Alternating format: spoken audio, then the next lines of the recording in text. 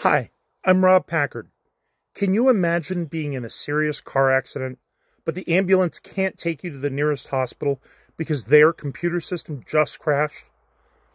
There is a global healthcare crisis that no one is talking about. It's not an illness, but it might kill you.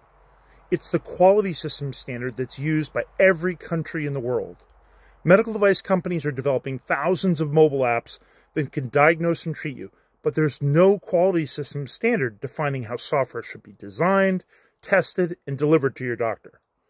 The current standard doesn't mention software medical devices even once because it was written in 1996 before Google existed. Regulators are creating laws to allow the adoption of new standards when existing standards are inadequate. But we need people to create those new standards. It took 13 years to create the current international standard for medical devices, but it doesn't address medical device software at all. We can't wait another decade for a quality system standard that is specific to medical device software.